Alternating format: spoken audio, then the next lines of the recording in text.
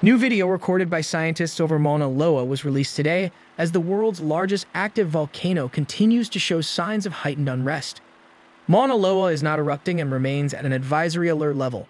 The U.S. Geological Survey's Hawaiian Volcano Observatory says there are no signs of an imminent eruption at this time, and that monitoring data show no significant changes within the past 24 hours.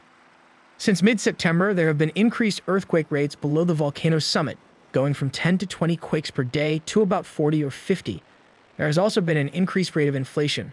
Scientists say the current unrest is most likely being driven by a renewed input of magma, about 2 to 5 miles beneath the volcano's summit.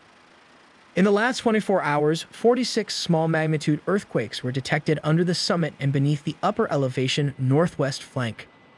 Concentrations of sulfur dioxide, hydrogen sulfide, and carbon dioxide remain stable, as do the fumarole temperatures. Webcam and thermal camera views have shown no changes to the volcanic landscape over the past week. Mauna Loa last erupted in 1984.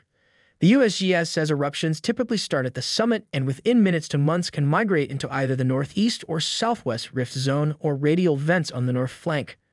Eruptions tend to produce voluminous, fast-moving lava flows that can impact communities on the east and west sides of Hawaii Island.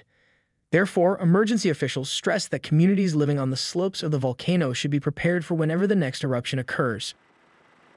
The Hawaii County Civil Defense Agency and the Hawaiian Volcano Observatory have been holding meetings in recent weeks, sharing the latest information on Mauna Loa and answering questions from the public. The next meeting will be held on Saturday, November 5th at Konawaena Elementary School cafeteria from noon to 2 p.m.